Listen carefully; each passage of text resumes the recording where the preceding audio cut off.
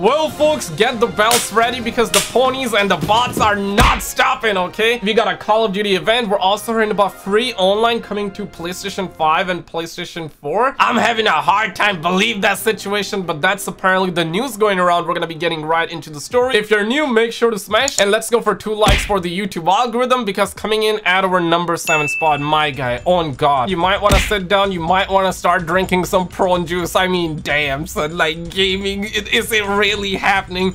Report future Xbox games might have ads tech is being developed. Damn, bro. Like, listen, man. Back in my days, you would pay like $60 for a game and, and, the game would come out complete, okay? It would have everything that you ever wanted.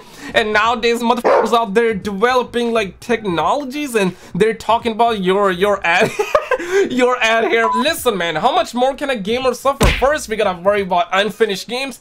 We gotta worry about no campaigns. I mean, god damn, raise your hand if you're excited to see more more ads inside your favorite video games. Uh, I don't, I don't see any hands. Nowadays, you gotta have like three, four jobs. You gotta be selling your, your kidneys in order to afford gaming. I mean, damn, bro. Now, apparently this story is coming from Business Insider, and they're saying that Microsoft wants to work with ad tech companies to create a system that will allow brands and advertisers to buy and place ads in free-to-play Xbox games, according to two people, two people who spoke to Insider and who are reportedly involved with the program's ongoing planning and negotiations. Seriously, man, if you're an Xbox fan, you need to stand up, okay? You need to stand up. You gotta take your hands, okay? Take your hands, put it on the side of your hips, okay? You gotta man the F up, okay? Just like how they, they tried to increase the Xbox Live Gold price a couple of months ago and people went in gang gang style. That's basically what we need right now because you know that if Microsoft does this, Sony is gonna do that. Then Nintendo is gonna do that. I don't know if they do that or not. I really don't play on Nintendo, so I'm a little bit ignorant. My guy, according to these sources, the ads could appear as digitally rendered billboards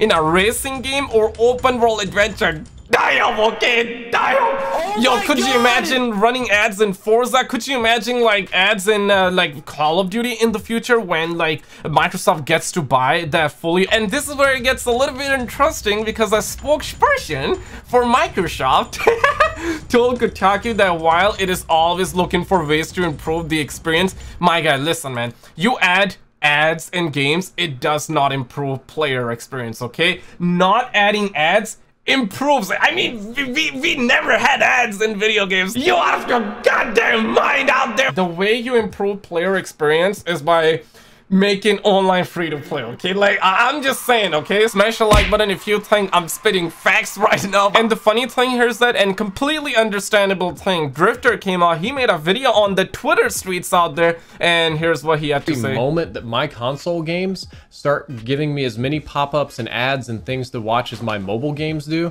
I'm out. I, I really, that's one of the main reasons I don't play mobile games, is it's so hard to avoid all the ads, or even in a game that you pay for, there's so many pop-ups, it's miserable. I really don't want to see that come to Xbox. This gaming industry, it's a disease, my guy. Only the gaming industry find like loopholes and like first, uh, yeah, we gotta have like $20 skins, we gotta have DLC packs, we gotta have season passes, battle passes, unfinished games, no campaigns, online only, even if a, if, if a game is a single player game, gotta always have online play, fellas. And now you gotta have ads.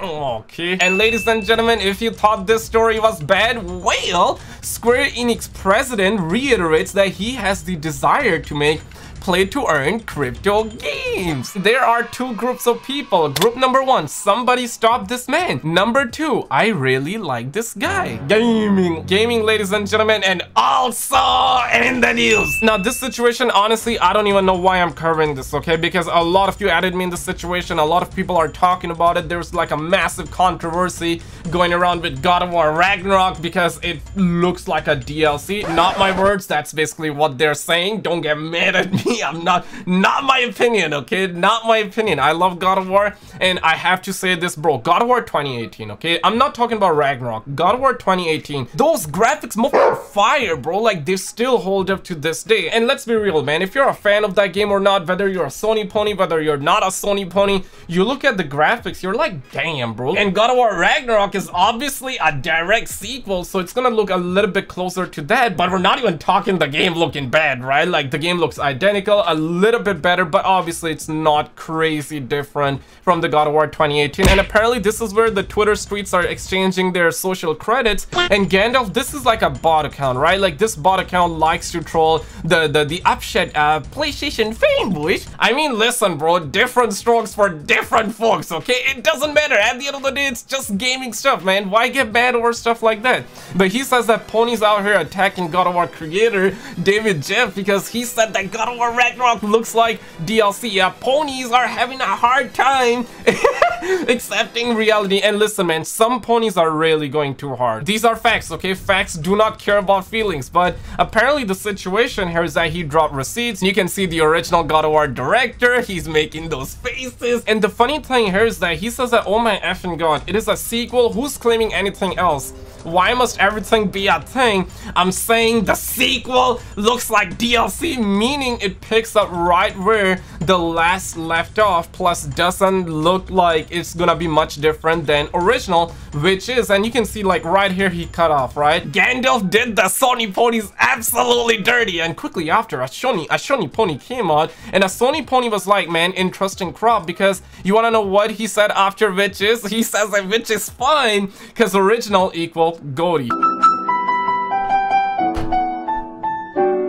I mean, damn, bro. I, I, swear to God, bro. These ponies and bots should have been spanked as a kid. They surely would have grown up to be respectful, man. I'm not saying that literally, okay? Don't, don't cancel me on Twitter. Shout out to the homie Jack for adding me in the situation. People are not stopping. People are out there sharing internet points. Uh, he also created the worst God of and hasn't done anything of quality since my guy. Like, the... Oh my...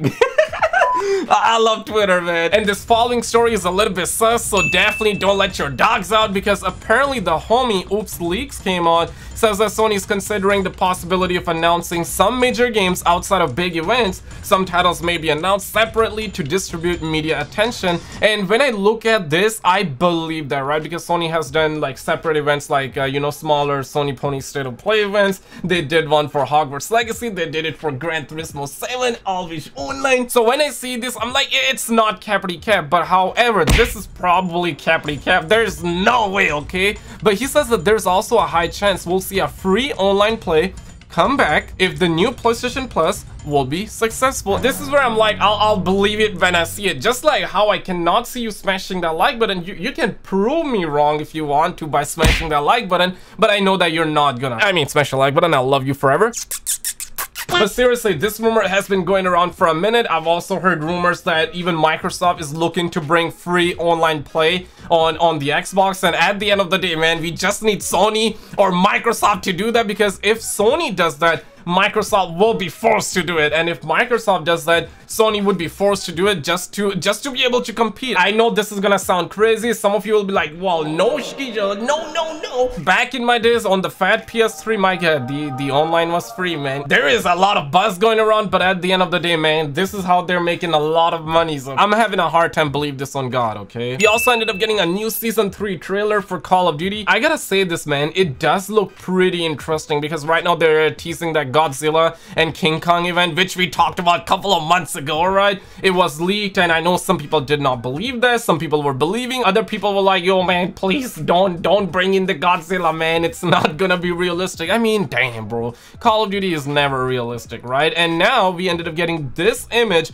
Now, this was one image, right? So you can see this is a long image, very long. That's what she said. I know that's a little bit haram, but on the other side of the image, you can see Godzilla making his way to the... I know some people are shaking on the situation and some people are like, wait, why you gotta drop? And this following story is a little bit interesting because apparently Robert Morrison came out. He actually worked on God of War 2018 and he claims that he is working on a massive PlayStation project, okay? In fact, he actually went ahead and he says that uh, PlayStation has some bangers coming out this year. And later on, he followed it by saying, I'm not working on Ragnarok, but something equally cool. And then he followed it by saying that that feeling when you have three to five years of work you cannot show. And apparently some people are believing that this is gonna be the Last of Us remake. Some people are believing Last of Us 2 factions. It is very hard to say what this could be, but I guess the good news here is that he, he says that he has been working on this project for 45 years. It is apparently not God of War Ragnarok, but something equally good. So I think it's probably gonna be good, but obviously we're in the era of unfinished games, so don't let your dogs out, fellers! Now, coming in at our number one spot, the most anticipated gaming story of them all. You might want to sit down for this story. Shout out to the homie Ollie for adding me in the situation because apparently now it's no longer hashtag save Red Dead Online. It is more so uh, hashtag save Battlefield 2042 because Red Dead Online currently has more active players than Battlefield 2042 on the Steam versions. Damn! Red Dead is sitting at 1680 and uh, Battlefield 2040 is sitting at uh, 1608. Save gaming, ladies and gentlemen. But click on this video on the screen and I will see you right there. Just click it, man. You're gonna